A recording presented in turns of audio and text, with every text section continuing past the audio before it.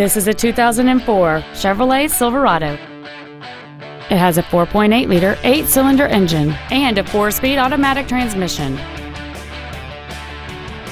Please call us today for more information on this great vehicle.